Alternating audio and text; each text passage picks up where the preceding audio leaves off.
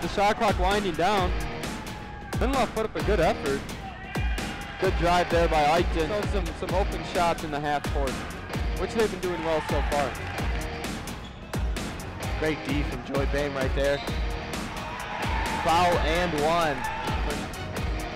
Dale Baxton on Bame, and he gets that little another drive from Rose.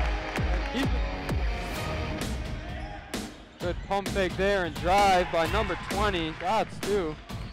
Contested ones around the rim.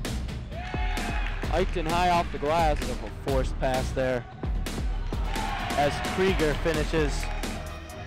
Eichten hands off to Lindstrom.